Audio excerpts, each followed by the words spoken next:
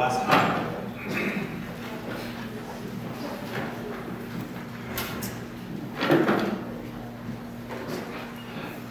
Like by next week, this time, spring fever is going to in really bad. I can tell. Okay, so last time we discussed the difference between networks and groups. Uh, we saw evidence for spreading processes in networks for diverse phenomena using both observational and um, experimental data. Uh, we examined some of the possible explanations for correlations of attributes across connected individuals, including induction, homophily, and context or, uh, confounding. Well, the question arises, though, whether things uh, spread online as well, and not just offline. And the question is, does the online world resemble the offline world? And if not, how is it different? And you know, what does the internet offer as a new kind of technology that was existence from the time you guys were born, pretty much? Um, how does it extend or exploit our ancient proclivities to form networks and be influenced by them? Now, certain things can indeed be different uh, about online interactions compared to offline interactions. Uh, and there are four other kinds of things, just to summarize them. There's the enormity, communality, specificity, and what we call the uh, virtuality of interactions online. So enormity refers to the scale, right? It's possible uh, that, that you're able to interact with a larger, much larger number of people given this technology than you were able to do with the previous telephony, for example, and before that letter writing, and before that smoke signals, um, and so forth. Um, communality, the ability, the technology facilitates a kind of collaborative effort and a kind of cooperativity. We'll see some work about this uh, in the next couple of days. Uh, that uh, is maybe different qualitatively or quantitatively than qualitatively than the kind of communal efforts that were possible before. Specificity is different in the online uh, interactions. You know, if, uh, before, uh, uh, well, you know, for example, like, did you guys see some of you see the interview I did, like, before the break, about, it was a horrible title about dog poop. Raise your hands if you saw this interview, the Yale Daily News. Obviously, no one reads the Yale Daily News. anyway, I did this interview with the Yale Daily News, and uh, this was like two or three weeks ago, and I was talking a little bit about my experiences when I was at Yale, and I through serendipity, I was very lucky, and I got a job working in this French laboratory doing virology research. And basically, my job was to take a pooper scooper into the streets of Paris and collect dog poop and bring it back to the lab. And um, and uh, I, I, didn't know that. Well, I thought, well, anyway, you can read the story. But um, uh, in order for us to figure out who this person was that was proposing to hire me in France, this was in 1981, 30 years ago. I had to physically go to the library and go down to the stacks and pull hardbound, painstakingly search for papers by George Perriez in a kind of very antiquated card catalog system, and pull literally dusty volumes off the shelf and look up his stuff and read the only copy that was in the library. And now you can do that in seconds. So if you wanted to find like a French virologist that uh, did work on this topic in Paris, you would find him like that. So if I told you right now, go online and find a Norwegian military veterinarian, you know, this was a huge problem uh, 10 or 20 or 30 years ago. Now it's something you can, you know, in seconds solve. So, so specificity uh, of online interactions is much more, uh, much more possible. And last, uh, what we call virtuality, which I'll come back to in a moment. And so we, so on the one hand, we argue in Connected that the online world is different than the offline world. But on the other hand, we also argue that it is the same. And, and in all the deep and most important ways, online interactions are the same as offline interactions. And by that I mean that the desire for connection that people have and the capacity to be influenced and the desire to influence each other also is the same. And there's certain other mathematical rules governing the topology, the structure of online networks that uh, are also the same as the, that govern uh, offline well, the networks are, however, different in some way. And here's, here's what I mean by virtuality. These are some fascinating, to my eye, photographs by a photographer by the name of Robbie Cooper, who found real people and also their online avatars. And he put them side by side. So here, uh, this man on the left has this, uh, obviously, female avatar uh, on the right. And um, now, it was always possible for men to pass as women in the real world, you know, to cross-dress or to otherwise modify your appearance, or nowadays even have surgery. Uh, but, um, but it's much easier to do so online uh, than it is to do so offline. So, you know, that old New Yorker cartoon on the internet, no one knows you're a dog, uh, you know, this, you know, you can adopt a different identity online than you have in real life, and it's much easier to do so uh, using this technology. Now, um, and this is one of the most poignant photographs. To me, I, I just think about this pair of images all the time. It, it, it breaks my heart. It, it, seems to break my heart more than it does people of your generation. I, I don't know why exactly, but in the set of photos that Mr. Cooper obtained, here, of course, is a boy on the left uh, and those of you that um, know any medicine or are familiar with this at all can see that this boy is actually probably paralyzed from the neck down. His hands are all contracted and emaciated. He's wearing a CPAP mask that helps him breathe because his fracture is sufficiently, his uh, neck transection is sufficiently high that uh, he can't even breathe unassisted. So this boy has, has had a devastating neurologic injury. And look at the avatar that he makes. It just brings tears to my eyes, actually. You know, if you were this boy, who would you would pick in violent, you know, steel encased, strong, able-bodied, you know, avatar. And so this is this is uh, what he picks. And so so he can do that. You know, he can pick this kind of an avatar online, uh, mobile and immune uh, from injury. So internet has some things that are actually a little bit uh, different. let's take a look at, the, at some of these features. Uh, let's start with this issue of scale. This is a natural social network of 105 college students and who their friends are in a particular college dorm. Every dot's a person. Line represents a relationship. And here are who are who's uh, real friends. Okay, these are like face-to-face -face, uh, friendships. And on average, each person has about six and a half friends in uh, this little uh, network uh, graph. And here's what happens when you add whether they people in green, whether the people are members of the same ethnically based club as well. So the white lines indicate real friendships, and the green lines indicate that both kids are in the same uh, club. And here's what happens when you have roommates uh, in blue. Let me see if I can find my, uh, my, uh,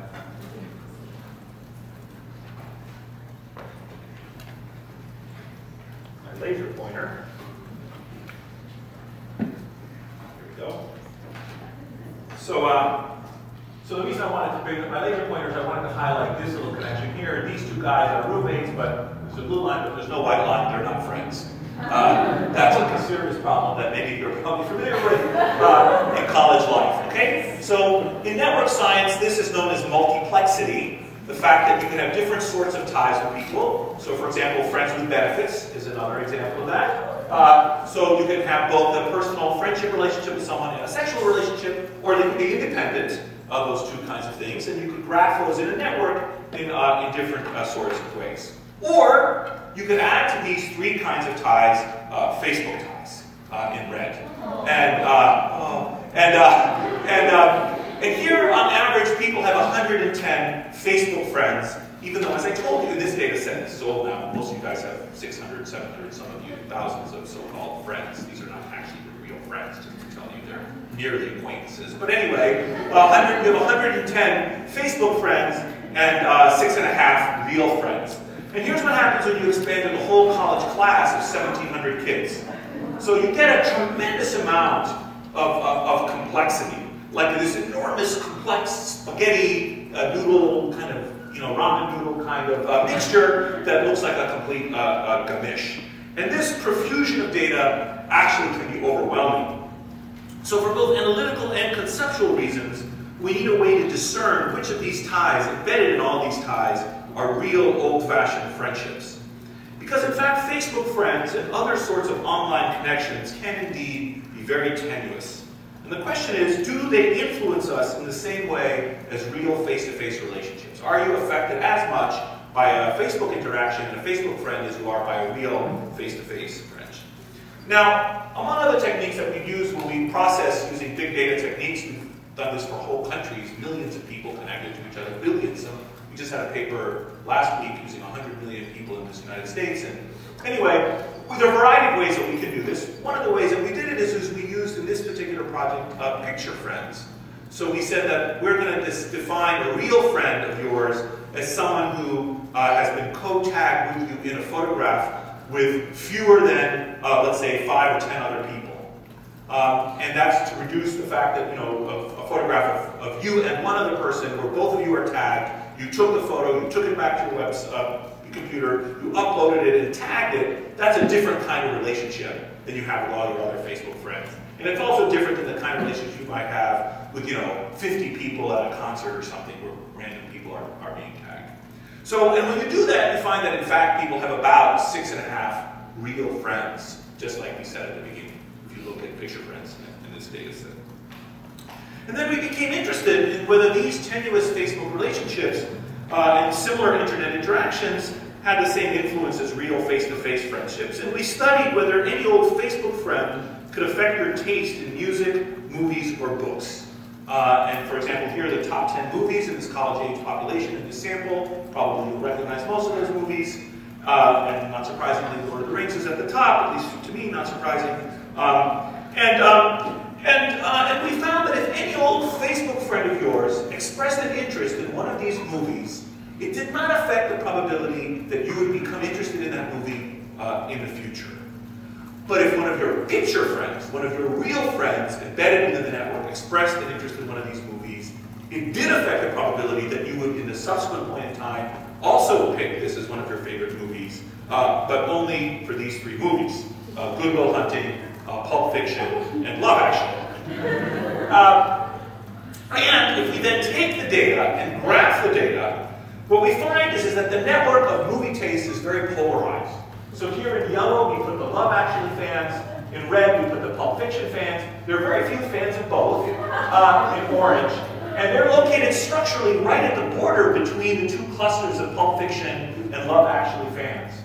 Now, um, and so uh, you can tell, first of all, that there's this clustering, and this is similar, incidentally, to the clustering that we saw last time when we looked at obesity and smoking and happiness uh, clusters, of, uh, you know, uh, in real face-to-face -face networks.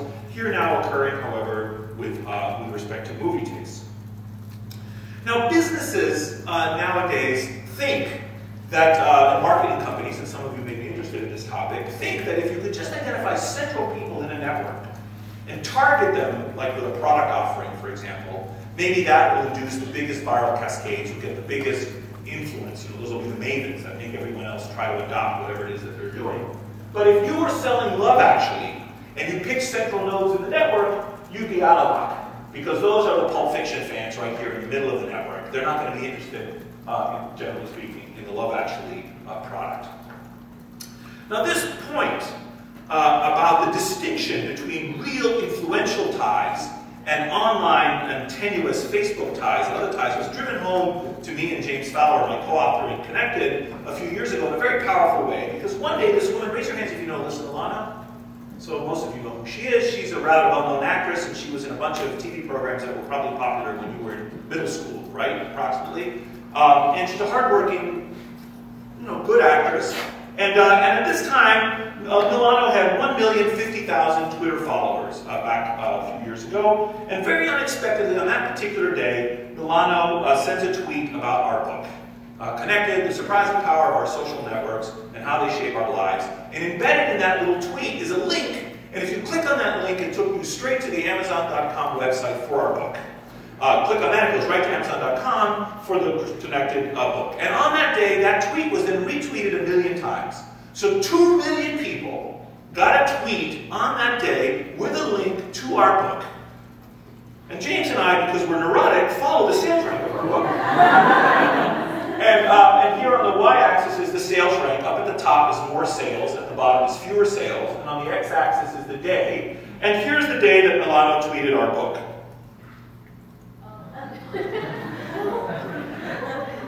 We estimate that we did not sell a single extra copy of our book, not one, even though two million tweets were sent out uh, on that particular day. In fact, some people looking at this data have said that actually when Milano tweeted our book, people raced to the bookstore to return our book, and that's why the curve is actually dropping uh, on, on the far uh, right.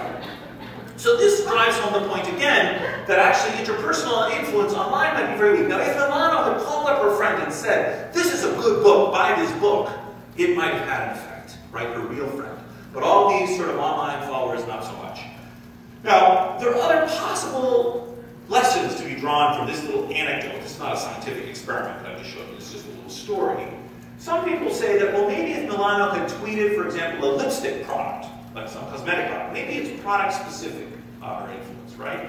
Or maybe it's something different. Maybe something about the book is too hard to expect in someone of my book. Maybe it's not product specific, but it's behavior specific. You know, certain things will spread and not others, and so forth, and so on. So there's actually a lot of science or applied science being done in this area right now, trying to understand how can we understand virality, not just of pathogens, how can we understand virality of products, of ideas, of emotions, of other kinds of things that do spread in different sorts of ways.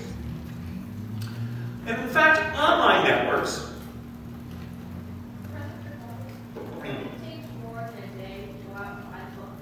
Yeah, so that's a good point.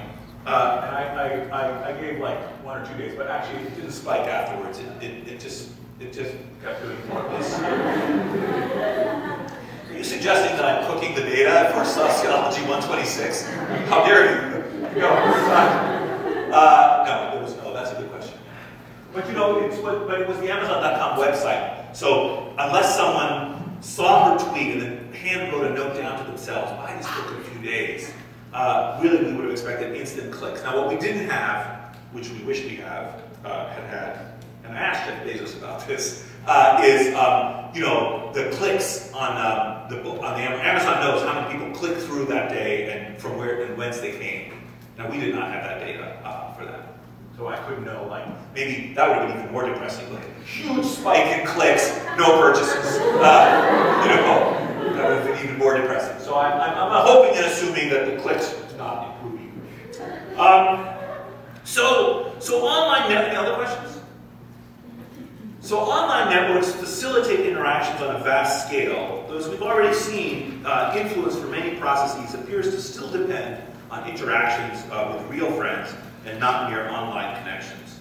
So if we're going to actually exploit the online world to facilitate or kind of uh, implement some kind of um, uh, social marketing campaigns. We want to like, get people to donate more money. We want to sensitize people to malaria uh, in the developing world. We want to make Yale students more concerned about recycling or whatever it is that you're trying to do. We're going to need to give some deeper thought to how um, influence works online uh, and how that might or might not resemble face-to-face -face, uh, interpersonal influence. And in fact, one of the things you're going to need to do is have ways of measuring meaningful interactions if you're going to exploit online ties. Which online interactions represent real relationships where an influence might possibly be exerted? So the interactions have to be real or feel real, okay? Either they have to be real relationships uh, online, or they have to feel like real relationships online. And how might they feel like real relationships online?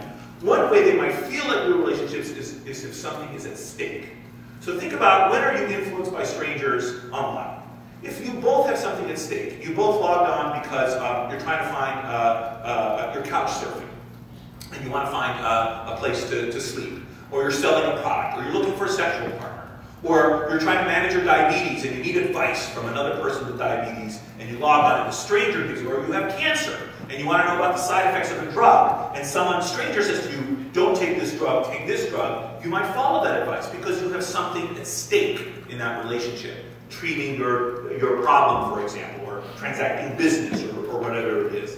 When something is at stake, then in fact you can have a kind of interpersonal influence online, even between strangers. And finally, also it's worth noticing that both leaders and followers are needed. So there's an obsession right now uh, with identifying who the influential people in uh, online networks are. And uh, while that's important to do, we don't just need influential people, we need influenceable people. You don't just need shepherds, you need sheep. You need to find a way of who's going to copy other people, right? How are you going to be able to identify clusters of individuals, not just so that if I get you, you change your behavior, but who's going to follow you? Who else is going to copy whatever it is that you're, uh, you're doing? So, um, so, uh, so these are some basic principles if we're going to think about how we might mobilize the online world to facilitate interpersonal influence around a diverse set of public health and public policy uh, objectives. Yeah? Are these interactions that only exist online? Uh, yeah, just right now, just talking about uh, online, that's right, so that's a good question. So these interactions exist online, and a subset of them presumably exist offline as well. And the argument is, is that certainly, like your true friends on Facebook, when you pick a movie and you say you like the movie, they're watching you, they're paying attention, they might be affected. But all your other Facebook quote-unquote friends don't care about you, and they're not paying any attention. That's the argument. Or you might have to join a website where you're recommending movies to each other. People sign up and say, people like me, what movies do you like? Then you might be influenced by a stranger when you both have, a, like, movie selection is the stakes uh, that are involved. Um, and smoking cessation online is another example. In fact, online smoking cessation efforts can be very successful. Uh, so, um, and I think we talked about this a few lectures ago when we talked about uh, uh, quit lines. In the olden days, when you were a smoker, you could sign up for a service and you were thinking of taking a drag on a cigarette, you could call some human being who would talk you down and you know, get you through the nicotine craving. Now, of course, with the internet that can provide a similar service, thousands, thousands, hundreds of thousands of people who wish to quit smoking can log on and subscribe to different sorts of services. Many of these are free, or they have a kind of freemium model. Uh, and, uh, and so here's one example of a paper published by Nate Cobb a few years ago. There are about 8,000 people uh, here from a period of time in 2007. The red people are smokers, and the blue people are non-smokers. The green lines are closer ties, and the purple lines are sort of looser ties.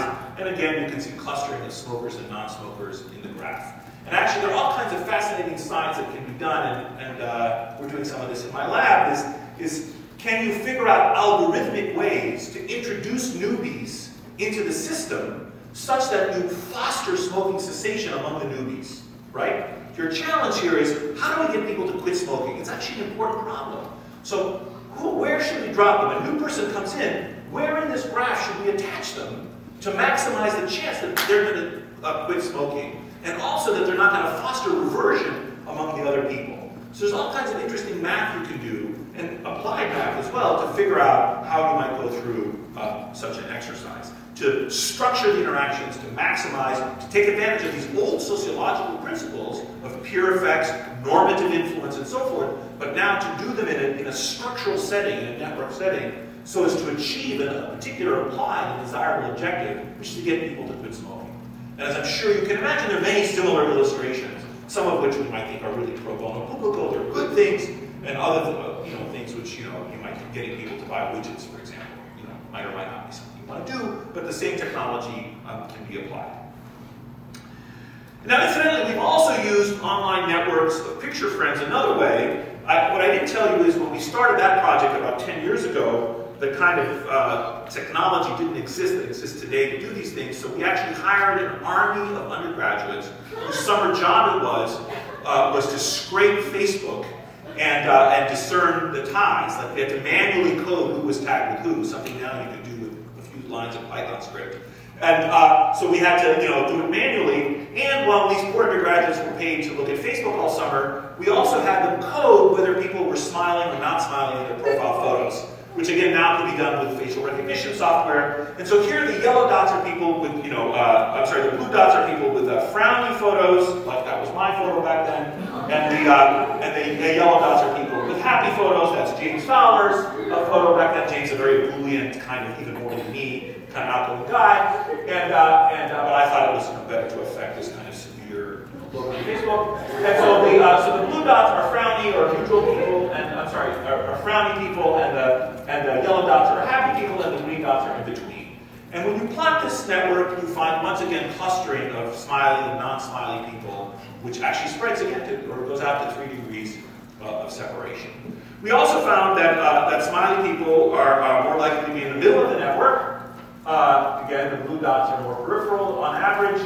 And, uh, and we found that the smiling people have 20% more friends if you put like a smiley photo uh, of you uh, online.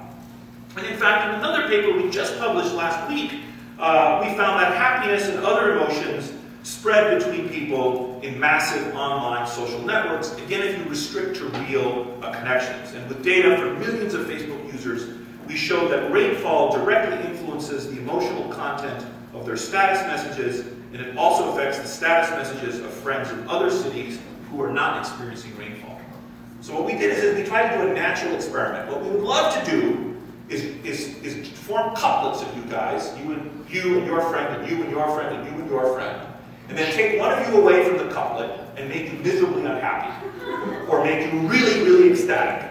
And actually, psychologists have some experimental manipulations they can do for this. They're a bit silly, but they work. Like I can show you a Charlie Chaplin movie and it'll improve your mood.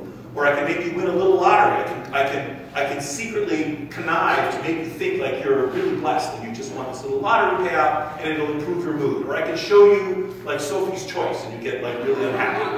And, uh, and then I can test whether your mood is contagious and affects the other person's mood. So what I'd love to do is an experiment in which in each couplet I randomly assign one person to an emotional state and then saw, measure the emotional state subsequently in their friend. So everyone with me still? Of course, it's very hard to do that, and it's also very hard to do that on a huge scale. So instead, what we thought we would do is we would take advantage of natural experiment, which is the weather. There's a huge old literature, well validated, that we are sadder when it rains, when the weather is bad. But what we were interested in is when it rains on me, not what happens to my mood. We show that my mood gets worse in this Facebook project that we just published. But also to see how it affects my friends' moods. And what we did is, is we found couplets of people, millions of such couplets, where one person lived in one city and another person lived in another city, and the weather was discordant between the two. And we saw how rainfall on you affects the status posts of your friends. And we found that for every extra person in New York City that becomes sad because it rained in New York, at least one other person somewhere else in the United States also becomes sad, someone who lives in a sunny city on that particular uh, day. So for every one person affected directly, rainfall alters the emotional expression of about one to two other people, suggesting that online social networks may magnify the intensity of global emotional synchrony. And this goes back to the kind of uh, enormity that we discussed at the beginning. You know, it was always the case that our moods, like, have you ever gone, okay, raise your hands if you've ever arrived at a party and within five seconds knew if it was a good party. Just like walking, this is a great party or this really sucks. Okay? So you can tell right away, right? Now what is happening there? Your emotional state is being synchronized with what's happening to the others. Okay? And so, um, but and, and that can always happen, but that party example is on a scale of 10, order 10 or order 100 uh, people, right? Now we can have order million, order 10 million, order 100 million people uh, potentially whose uh, various attributes uh, can be synchronized because of the uh, technology. Um, okay. Um, now, this work with emotions and with altruism, uh, which we reviewed last time, we showed the experiment, the pay it forward experiment, both of which are so fundamental, got us to thinking about the evolutionary basis of networks themselves. So we've been studying human emotions, we're studying human altruism. Those are deep and fundamental properties of human beings, part of our human nature. And so we began to think about this topic. Uh, you know, we're thinking, well, maybe there's something in human evolution that sheds light on the structure of human social networks. Now, human social networks, wherever they've been mapped, always look strikingly similar. Always look like the pictures that I've been showing you. They have a structure such as this. But they never look like this. Why not?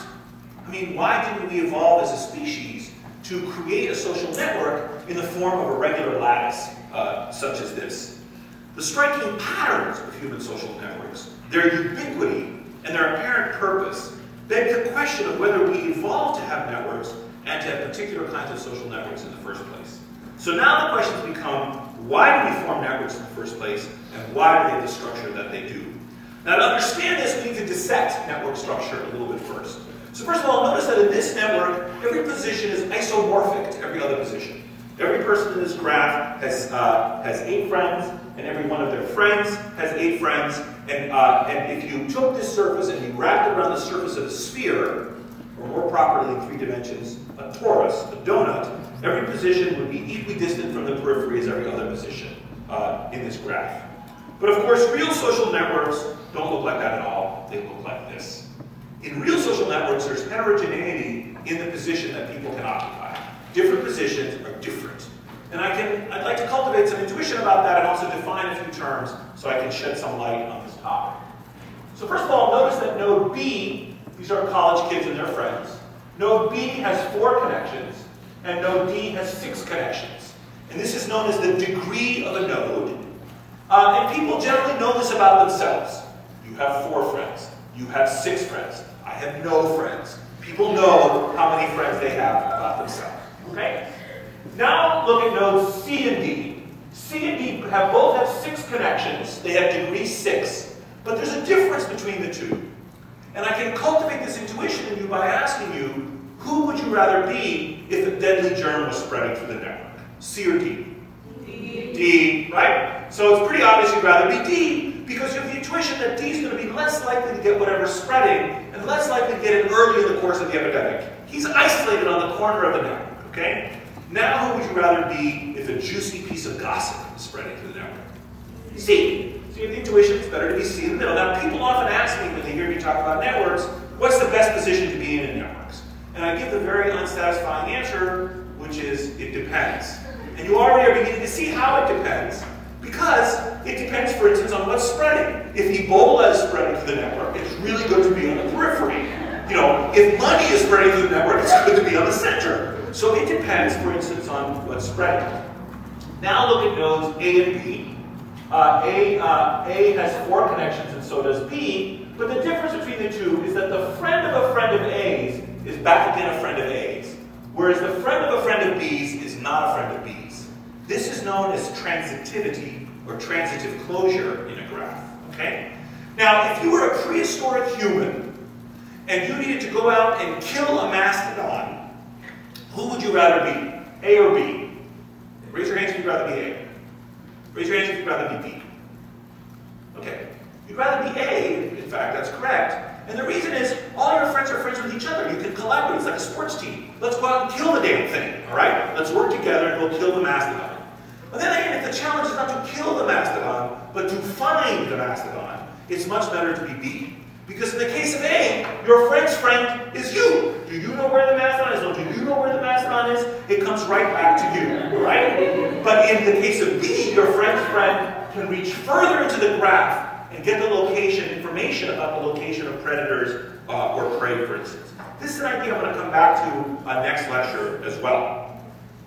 And in fact, what we did is, is we did a, a very a, a, a, classic kind of uh, scientific uh, design called a twin study design uh, a few years ago to look at the heritability uh, of these three traits. Let me show you how uh, twin study design works. You can use this to study things like height, eye color, uh, you know, religiosity. Actually, we talked about this a few lectures ago. We talked about religion. Um, so, um, so in a twin study design, you take monozygotic twins, so uh, you know, identical twins. Uh, you form pairs of them, and you take same-sex dizygotic twins. They have to be same-sex because otherwise, I mean, these are always same-sex, so you want same-sex dizygotic twins. And you measure something in both twins. For example, you measure the height of this twin and the height of this twin, and you see how similar they are. And you measure the height of this twin and the height of this twin, and you see how similar they are. And if these are more similar than these, and conditional on the assumptions in the model, for example, that twins are raised in the same kind of environment as each other, the fact that these are more similar than these and the extent to which they are more similar gives you a clue about the degree to which that trait is heritable. So if height is very, very similar among identical twins and not very similar about uh, fraternal twins, you're going to think hmm, height may have a partially genetic basis. And you can do the same thing with network properties, as we did. You can map the networks of monozygotic twins, and you look at these networks and you say that they're pretty similar. This guy has one, two, three, four, five, six friends. This guy has uh, four or five friends, and the amount of transitivity in their networks is very similar. Here you can see that they're different. This guy has fewer friends, and they're much more interlocked, for instance, on this side. And if you do that, as we did, you find the following results. So on the y-axis here is the percent of the variance explained with heritability, and these are the three traits that I just introduced you to. Incidentally, there are many more mathematical summaries, many more parameters of networks that you can study. These are just the three first, simplest ones. And what you find here is that 46% of the variation in the number of friends you have in your degree can be explained by your genes. So this is not very surprising or shocking. Um, what this says is, you know, some people are born shy and some people are born gregarious. People vary in their taste for friendship. Right? Some of us want many friends, some of us don't want friends, and that's partially heritable. Okay, not, not a big shock. But we also found that the two higher order properties are also partially heritable. As shown in the second bar, over 47% of the variation in how many friends you have can be explained by your genes. This is one of the most bizarre results, one of the more bizarre results to come out of my lab in the last five years. What I've just told you is that if you have Tom, Dick, and Harry in a room, whether Dick is friends with Harry depends not just on Dick's genes or on Harry's genes, but on Tom's genes. Whether you two guys are friends with each other depends on my genes. How can that be? We think the reason is that people vary in their tendency to introduce their friends to each other. Some people knit the network around them together, and some people in kind of worlds collide theory keep their friends apart. So this person and the previous person may be introducing all his friends to each other, and this person is not, for example. So, and in fact, finally, 29%, for reasons I won't go into, 29% of the variation in how central you are in the network may also be heritable. So where you are in this vast fabric of humanity depends in part on your genes. And the fundamental reality of our desire for connection and our susceptibility to influence, it turns out, has always been with us. Now, it's important to sort all this out. And I'm going to make now a classic sociological argument. It's important to sort all this out because genes might be associated with both network topology and with behavioral outcomes. And in fact, interpersonal effects might depend on both in ways that are very interesting. So for example, lots of scientists are out there doing work that shows that different sorts of genes on the dopamine or serotonin pathway, for example, these are neurotransmitters, have, have lots to do with all kinds of behaviors. How obese you are, whether you smoke, how happy you are, your voting propensity, how altruistic you are. Genes affect these behaviors, okay? And in the last lecture, we saw that social networks can also affect those behaviors. And now I just showed you that genes might affect social networks. So maybe one of the ways that people aren't paying attention to, but that they should, that genes affect human behaviors, is not by what they do inside your body, but by what they do outside your body. Maybe, in fact, these genes are working not because they're modifying your serotonin levels in your brain, and that's what makes you depressed or not. Maybe that gene is working by changing your taste for friendship and it's the existence of the friends that in turn make you happy or unhappy. So part of the effect of the genes might be sociological and not physiological. Might work outside your body and not inside your body. And this is methodologically important because models, that biological or statistical models that seek to understand the impact of genes on behaviors that fail to take into account the sociology might misspecify the models and overestimate the impact of genes inside your body by neglecting this backdoor path. Yes, Amelia? Um, have studies been done to control for social networks and see if genes still... Not yet. We're doing, we're doing that in the lab. Yeah, that's a good question. But yeah, that would be an obvious thing to begin to try to partition and see, well, how much of the effect? And of course, it will vary from case to case. You know, something like eye color, for example, there's going to be no outside path uh, here, right? But other kinds of traits will, will vary. Even something like height might be partially via this path. Because, for example, if you pick friends who are very athletic and don't smoke and eat well, and you copy those behaviors, that will improve your height, right? So some of the effect that it might have, even for something like that, which is very heritable. Other questions? Are there, there, there are a few behavior genetics classes at Yale, right? Has anyone taken a class like that here? There's one in the psychology department. I think there's one in the evolutionary biology department. Those are interesting things to think about as an intellectual field. Okay. So perhaps, in fact, one way our genes might affect our behaviors is by uh, inducing changes in our social network structure. And this, in turn, raises still further question about, what, about why networks might be genetically encoded in the first place. And we think that part of this must be because networks enhance our fitness. And by fitness here, I mean Darwinian fitness the, you know, your uh, probability of survival or reproduction. So, um, and so more, more recent work of ours has shown, in fact, that, uh, there are, there, that there are all kinds of deeper ways in which this phenomenon plays out. It turns out you're more likely to befriend people that you resemble genetically, and this has some interesting consequences for a topic known as kin, uh, kin selection, which I won't go into, into today. But, but the basic idea is that there are deep reasons that we have friends, and there are deep reasons that we prefer the company of people we resemble. In fact, I would invite you to reflect on the following question. Why do we have friends at all? I mean, think about that. Uh, very few species on the planet did this. Us, other primates, elephants, and cetaceans. That's it. Social animals. And, uh, but other animals don't have friends, don't have long-term, non-reproductive unions with non-kin conspecifics. We do. Something very interesting and deep about our tendency uh, to form friendships, to form uh, social networks. And not only do we have networks, but we prefer the company of people we resemble. Now, that's a very deep, fundamental aspect of human beings. Sometimes it gets very depressing when we line up along racial or ethnic or other lines, but um, and forget our common humanity. But it's very common. Tall people prefer the company of tall people. Yaleys prefer the company of Yaleys, etc., etc. Uh, but, um, but the question is to ask why, why that's the case. And uh, most of the explanations right now, to my eye, um, in this research field, border on what I would call a tautology. Who knows what a tautology is?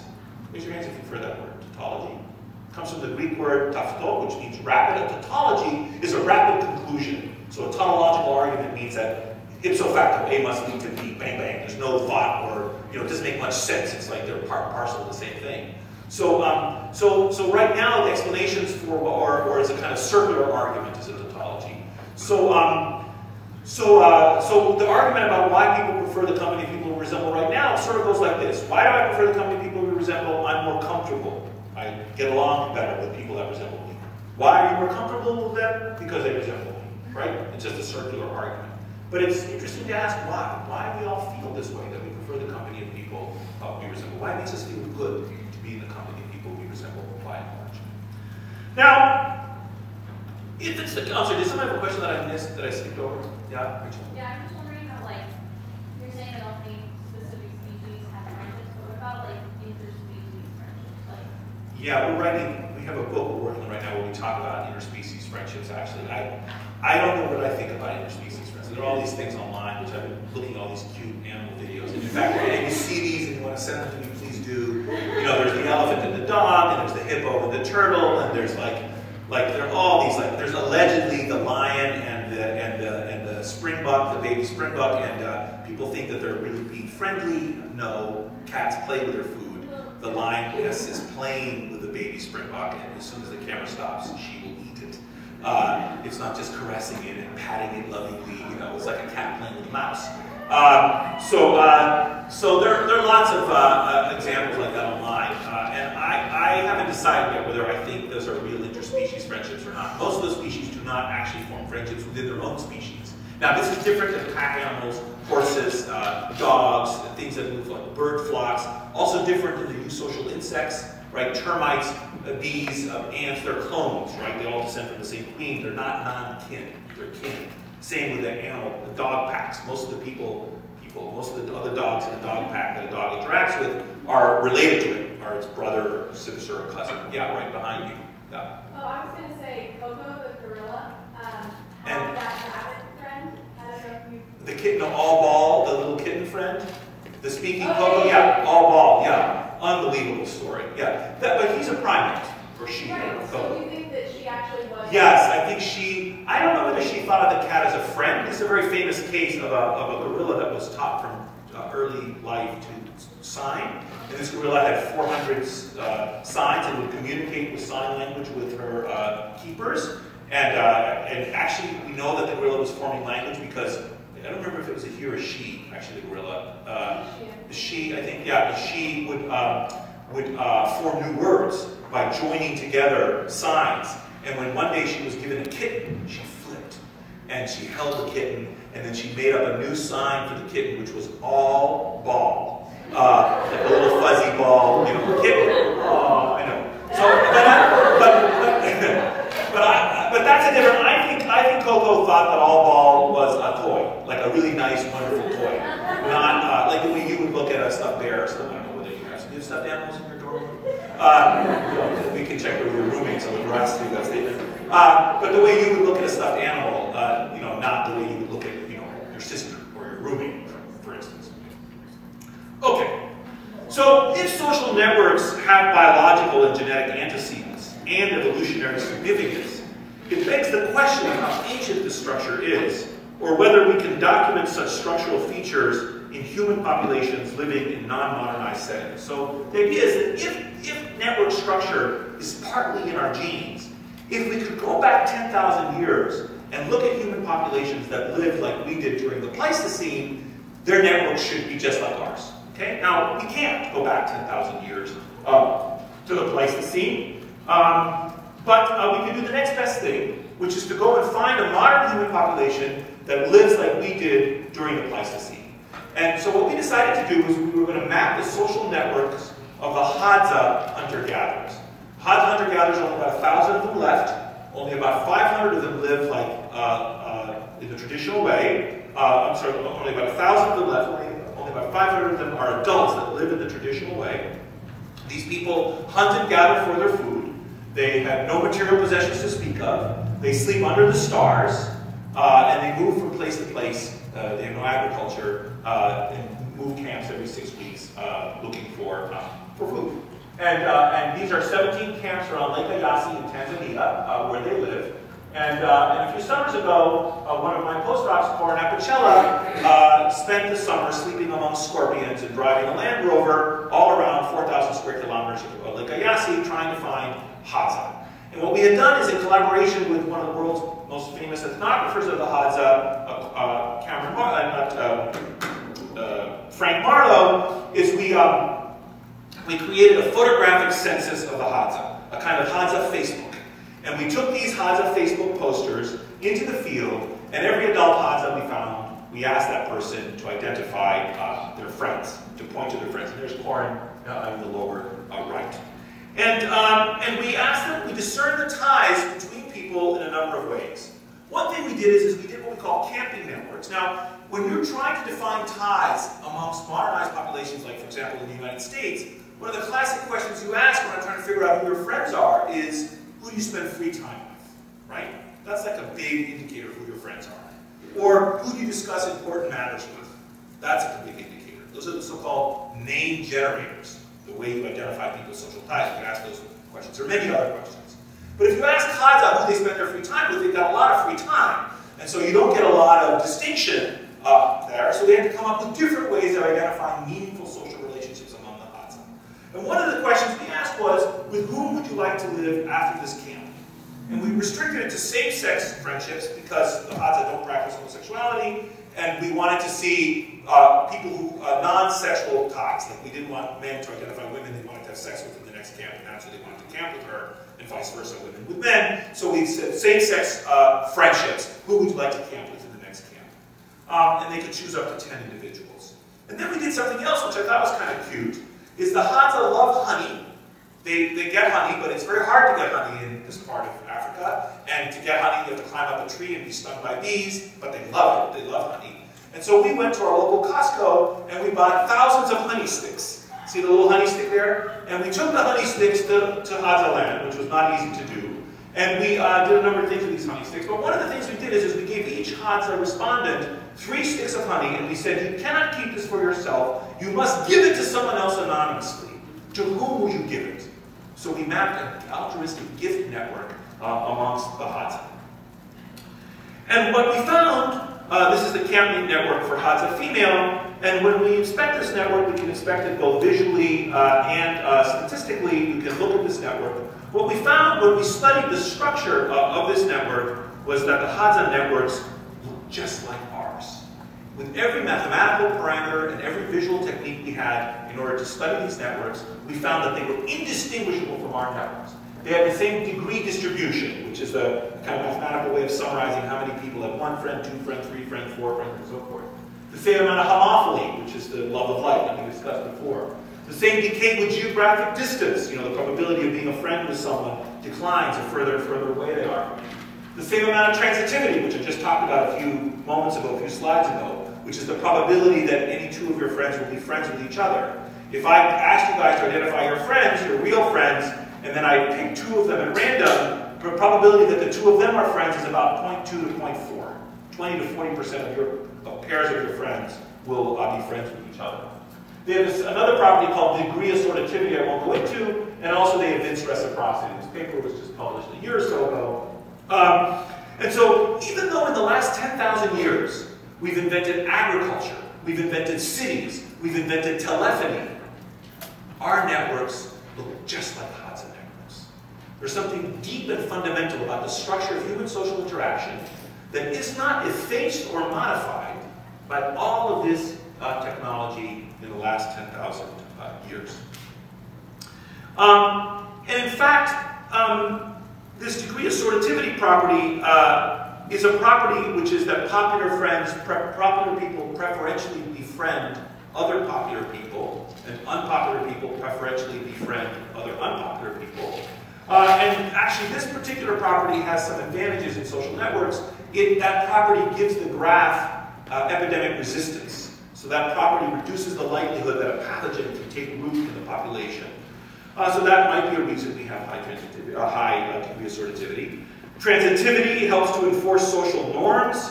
So, um, so if you, if your friends are friends with each other, they can be more effective at forcing you to do something than if your friends are not friends with each other.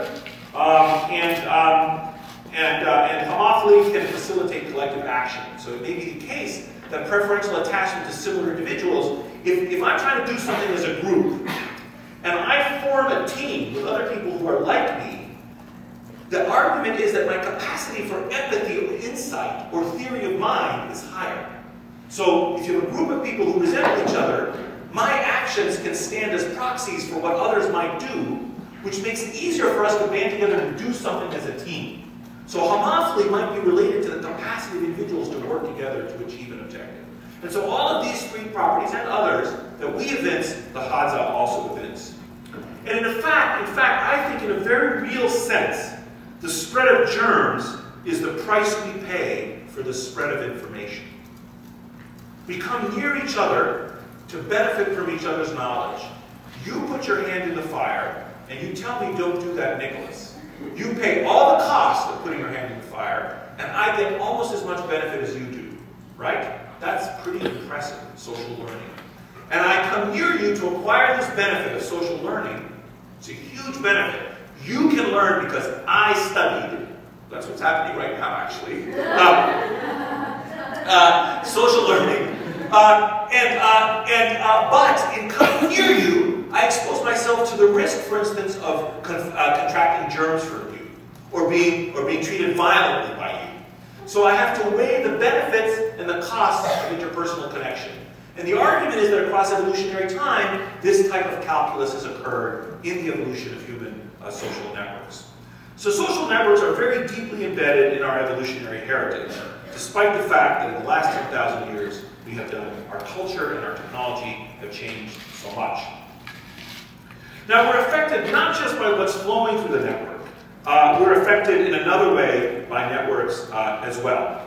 So, um, so here's an example uh, from, um, uh, uh, because the actual structure of the network matters uh, as well. And here's just one example of how network structure might matter as distinct from what's flowing through the network. And this is the difference between connection and contagion that we will also revisit the next time, and that's discussed in the book.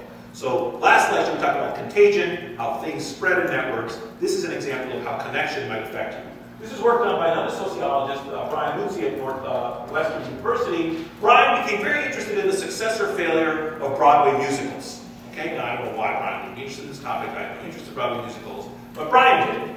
And so he assembled a data set of 326 Broadway musical production companies. The, the producer, the director, the actors, the musicians, and he mapped the networks of those companies and he computed a quantity similar to transitivity known as density. So here is a Broadway musical production company, a little cartoon of the six people, and this person is connected to these five people. And amongst those five people are five times four divided by two, ten possible connections, none of which are present, 0% density. And in this graph here, four of the 10 are present, 40% density. And here, all 10 of the ties are present, 100% density. And then Uzzi plotted on the far right the density on the x-axis versus the success rate of the Broadway musical on the y-axis, and he measured success in terms of how much money the Broadway musicals made, or what fraction of the reviews were positive. And he found that if nobody knew each other from before, 0% density, the show was a flop. And he found that if everybody knew each other from before, the show was a flop. And the optimal performance of this team, of this group, was achieved with middling levels of density. So if you want to put a group together to go hunt and kill a mastodon, You need people who can find the mastodon, who don't know each other, and people who can work together to kill the mastodon, who do know each other. So people can be organized in particular uh, and connected in particular ways, and this can affect what they are able to do. Now, incidentally, this is different than the Bearman study that was in the reading for today. I do not want you to take home the message from this slide that everything in groups is optimized in middling transitivity. That's not the case. In this example, it's the case. The general intellectual point here is that structure matters. The details will vary from case to case. So in the reading for today, in the Bearman reading, what Bearman looked at is, is he looked at the transitivity in girls' friendship networks. Young women, do their friends know each other or not know each other? Transitivity. And what he found, and here he plotted the risk of suicidal ideation. Did the girls think of killing themselves? And he found that if the girls' friends uh, knew, uh, did not know each other, they had a very high rate of thinking of killing themselves, and that that fell monotonically as the probability of the girls' friends knowing each other increased. So if you're a young woman and your friends are friends with each other, you don't think of killing yourself. If your friends are not friends with each other, you think of killing yourself, right? That's the argument. And it's like, if you two can't get along, I'm going to shoot myself, uh, kind of, uh, kind of uh, argument, okay? So bear that it's a monotonically declining function, not a parabolic function. Now we've also begun to study networks of doctors uh, in our lab. And to do this, we, we map the networks using the metric of shared patients. Um, so this is something else. This is known as a bipartite network, a two-part network. A bipartite network has two kinds of nodes. Okay? So here are doctors, four doctors, one, two, three, four, and here are their patients in yellow, A through K. So Doctor 1 sees patients A, B, C, D, and E, and Doctor 2 sees these other patients, and so forth. Well, you can take these data and, and project them onto a so-called unipartite plane. Basically, you can make a map of the doctors where the lines indicate how many patients they share in common. So you draw ties between people based on whether or not they share patients. And they can share a few patients, no patients. Doctors 1 and 3 share no patients. Doctors 1 and 2 share two patients. These guys are a little transit triangle. They each share one patient. And we've done this for the whole country, looking at millions, hundreds of thousands of doctors and millions of patients and how many they share in common. Here's one network map of physicians practicing in a single hospital. Uh, so here are about 1,000 doctors, and this is in a hospital in upstate New York. This hospital has about um, 300,000 inpatient days. Uh, and here we color the dots according to the specialty of the physician. The red dots are primary care physicians, otherwise they are specialists. And if you look at this network, you can see that the central position in the network, centrality, high centrality, is not occupied by the primary care doctors. The specialists are in the center of this network. And in this hospital, when you care for patients who die, the patients who die in the last two years of life cost $100,000 and they spend 48 days in the hospital. But in an otherwise identical hospital in upstate New York that has 300,000 patient days and 1,000 doctors, but a different structure of their doctors, now the red dots, the primary care specialists, are in the middle. Here, the patients spend half as much money, $46,000, and spend half as many days, 25 days in the hospital. So the structure of the doctor interactions, the structure of the network, has implications for the experience of the patients that come to that hospital. It's not just who the doctors are, it's how the doctors are connected to each other that's important in determining the nature of the functionality of the group. How this group of doctors in this hospital acts depends on how the doctors are connected to each other.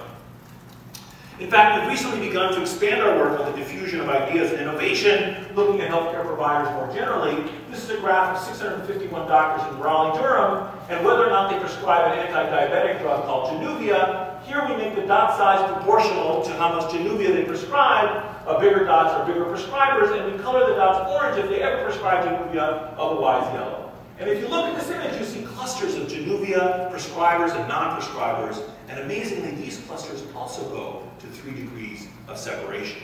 And you see that, in fact, there are this little peninsula of doctors down here who aren't prescribing this innovation. And maybe if you could talk to this doctor and get him to change his mind about Januvia, you could open up a flow of prescribing practice down through that peninsula. So innovations about safety practices, drug use, test ordering, and so much else flows through networks, including through networks of doctors, and understanding network structure can give you insight into how individual agency you would think the doctors are deciding on their own whether to prescribe.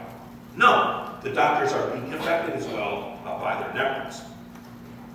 Or you can treat hospitals as nodes on a network, and again, this picks up on the idea of big data that we're beginning to introduce, and look at the hospitals in geographic space, and look at the transfer of patients between the hospitals as a way of discerning ties. And here's what a map of the flow of patients across American hospitals for a whole year uh, looks like. Yeah? I just had a question on the last slide. I was wondering pharmaceutical companies have been using this type of data? Yes, they Uh, are. And so, in fact, this technology that we invented was licensed by Harvard to a startup company uh, uh, which uh, uh, uses this technology and arms both sides. So they go to the pharmaceutical companies and say, would you like to get doctors to prescribe these drugs? Yes. Then they go to insurance companies and say, would you like to get doctors to switch to generics? Yes. And so there's like an arms race going on now to get, uh, to, to, to do that kind of stuff. Did I answer your question? Uh, so I just want to close uh, with one sort of um, set of important sort of conceptual arguments drawn from sociology and the social sciences that are relevant to some of the ideas we've been discussing today. Next time we're going to be talking about social network interventions, and the following time about one of the ideas that I think is the most important idea in the social sciences, the idea of social capital. We'll come back to that. But before getting there, I want to set the stage with another way, another kind of conceptual point that's a key intellectual point that's been a kind of leitmotif through the class from the last uh, few lectures. Because I think social networks offer a new way to understand human behaviors and human societies. Now, one classic way of understanding collective human behavior is to examine the choices and actions of individuals. For example, we can see markets, elections, and riots as the mere byproduct of individuals' decisions to buy and sell goods, cast a ballot, or express anger. The classic example of this approach, which is known as methodological individualism, which we introduced right at the beginning, is provided by Adam Smith's conception of markets as the simple sum of individuals' willingness to supply or, um, or demand a good. So an 18th century conceptualization of human social system, like from Adam Smith, looks at the social system as a collection of individuals who are acting on their own, and as a result of their individual actions, you get some kind of collective uh, phenomenon. Now, in the 19th century, another classic way of understanding collective human behavior uh, was propounded, and this dispenses with individuals and focuses exclusively on groups delineated, say, by class or race, each of which have collective identities that cause people in these groups to act in concert. So some scholars in this tradition, such as Karl Marx, believe that groups have their own consciousness, imbuing them with indivisible personality that cannot be deduced or understood from the actions of its members. So Marx, unlike Smith, thinks that there's something different about groups that doesn't reside in individuals. That, and the group has this property that's not necessarily present in individuals. And others have focused, in fact, on the primacy of group culture. For example, sociologist Emile Durkheim, with whom we introduced the course, argued that the relatively constant rates of suicide in different religious groups across time could not be explained by the actions of any individuals, since the groups had an enduring reality that long outlasted their members.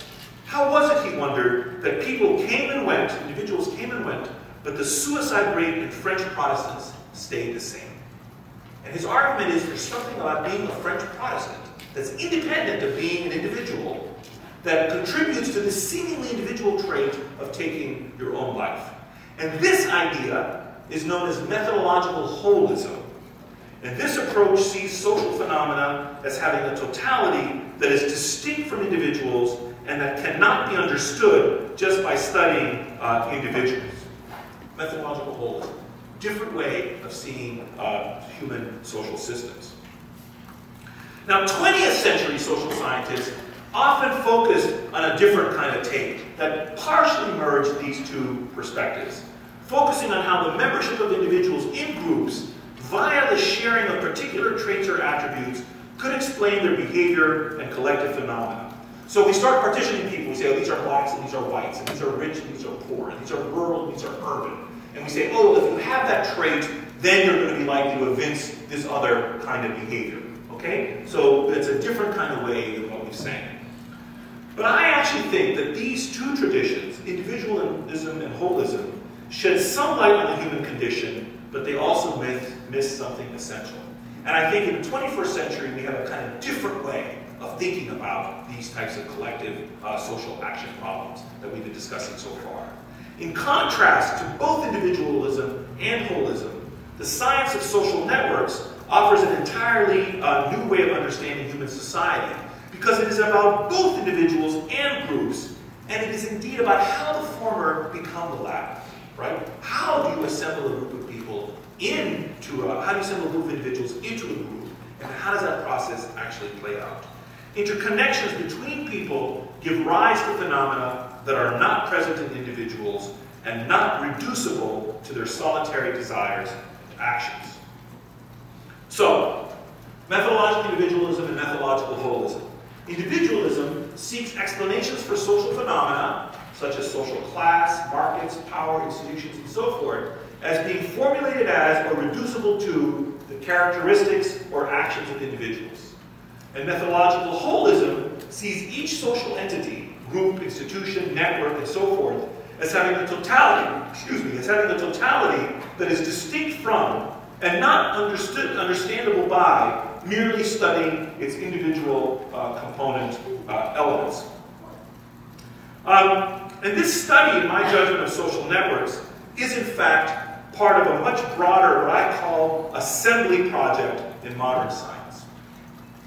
For the last 400 years, swept by a kind of reductionistic fervor and tremendous success, scientists have been purposefully examining ever smaller bits of nature in order to understand the whole. So we've disassembled life into organs, then cells, then molecules, then genes, and so forth. People are now beginning to study van der Waals interaction forces between base pairs in DNA, which is really like an absurd, absurd, it's fascinating and important, but it's like a, such a tiny, tiny part, like going down to a tiny level uh, to try to understand uh, life, for example.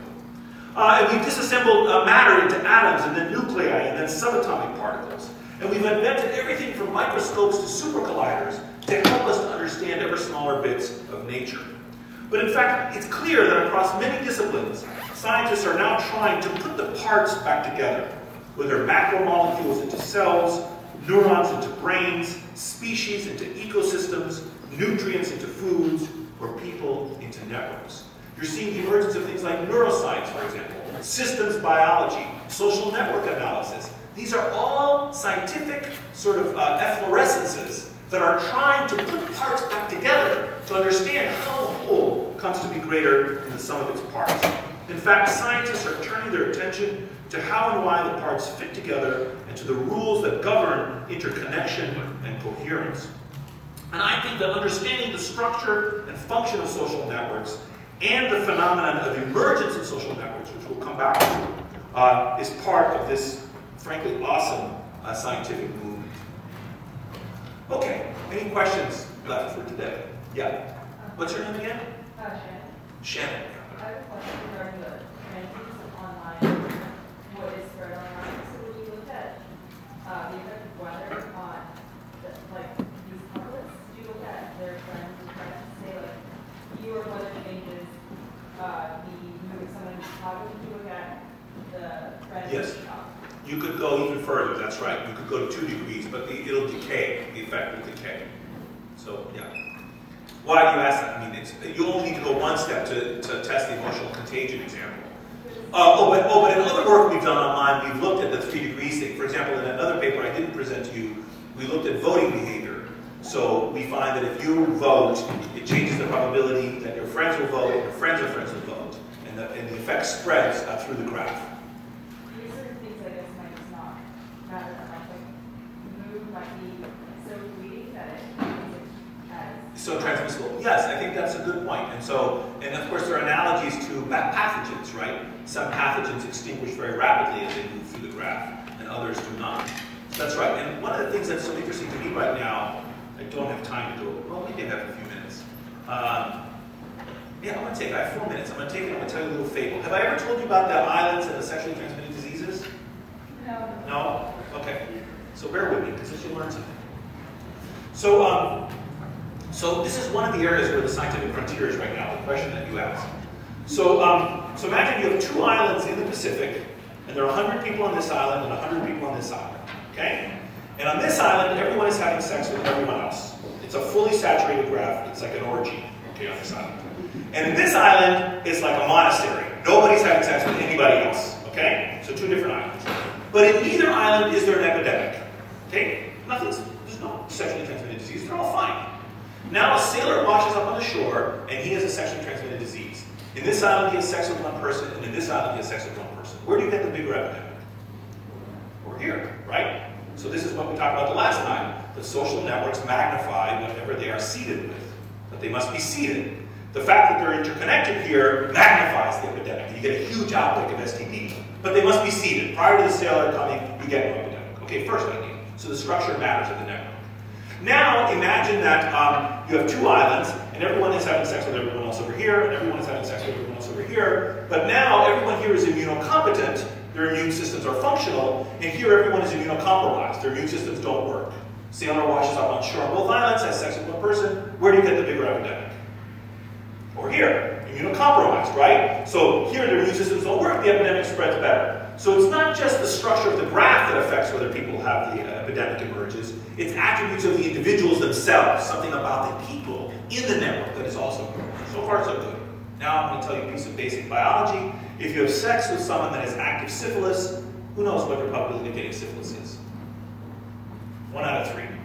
If you have sex with someone with active HIV, who knows what your probability of getting HIV is? Some Someone must know. One out of 500 approximately. Depends if you're a man or a woman and what kind of sexual action you have, but anyway, it's about one out of 500. So syphilis is much more transmissible. Okay, now you have two different islands, 100 people here, 100 people here, everyone's having sex, everyone's having sex, everyone's immunocompetent, everyone's immunocompetent. Sailor washes up on the shore. Here he has syphilis, here he has HIV. Where do you get the bigger epidemic? Syphilis. So it's not just the structure of the network that matters. It's not just attributes of the individuals that matter. It's attributes of the thing itself. The thing itself matters and affects the epidemic. Now, when it comes to pathogens, we've got 100 years of biology that can help guide us in making predictions about whether something will be a big epidemic. Is it expressing hydrophilic proteins on its surface? How big is it? How antigenic is it? And so forth. But when it comes to ideas, we have no idea. I, if you show me a list of pathogens, I can make some guesses. If you show me a list of ideas which of these things will spread, I can't tell you now. So there's a huge scientific effort right now being invested in trying to understand what increases virality? What makes some ideas not just engaging? I'm not just interested in whether you're engaged by the idea. I'm interested in whether you tell others about the idea. And that's a whole other kettle of fish. It's a really interesting problem. See you next time.